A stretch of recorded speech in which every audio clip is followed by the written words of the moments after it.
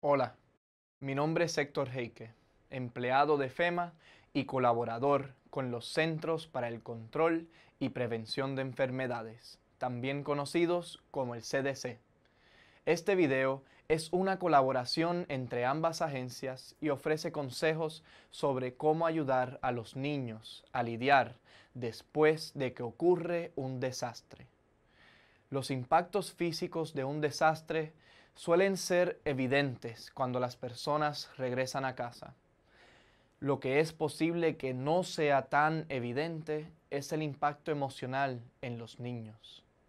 La cantidad de daños, la separación de amigos y familiares y la pérdida de mascotas y sus juguetes favoritos podrían crear estrés y ansiedad a los niños. Es posible que un niño no comprenda todo lo que está sucediendo, pero los padres y tutores pueden ayudarle durante la espera para regresar a casa y mientras limpian después del desastre. Aquí, unos consejos para ayudar a los niños a recuperarse o a enfrentar la situación y ayudarles a sentirse seguro de nuevo. Limite el tiempo de televisión la intensa cobertura de los desastres puede asustar a los niños pequeños y perturbar a los adolescentes. Mantenga una rutina. Una rutina ayudará a su niño a tener sentido de estructura. Esto puede ayudarle a sentirse más cómodo o proporcionarle sensación de familiaridad.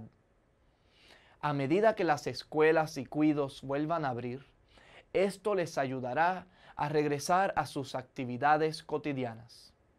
Haga tiempo para ellos.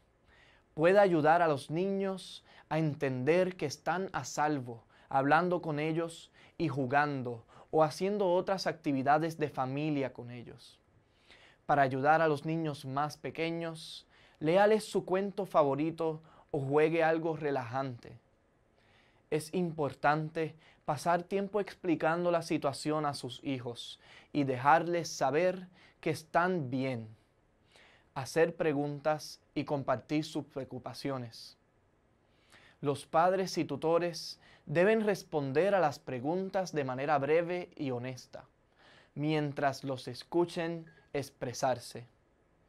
También es bueno hacerles saber lo que está sucediendo en la familia con su escuela y en la comunidad sin abrumarlos con información.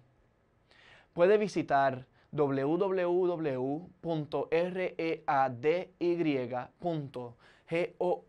diagonal es diagonal niños diagonal padres diagonal lidiar para más información y otros enlaces útiles.